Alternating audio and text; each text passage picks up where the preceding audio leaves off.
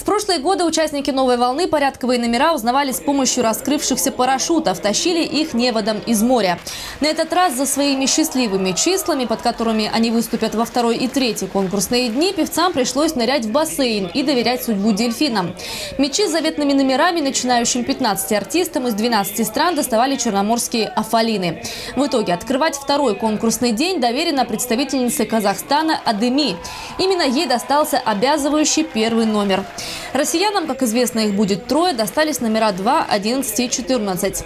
Заветную золотую середину дельфины приберегли для индонезийки Мелиин Фернандес. Девушка из Джакарты мечтает продемонстрировать свою культуру. России обещает петь от всего сердца и подчеркивает, что не видит здесь соперников, а только друзей. Я хотела увидеть именно эту цифру. Всем об этом говорила. Это мое любимое число. И когда дельфин достал мяч семеркой, я чуть не заплакала. Это невероятно. Многие конкурсанты признались, что верят в магию чисел, а такую жеребьевку назвали самой честной.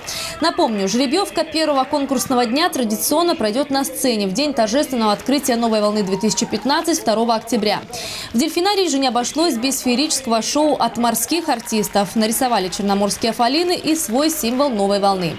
14-й международный конкурс молодых исполнителей популярной музыки пройдет со 2 по 11 октября.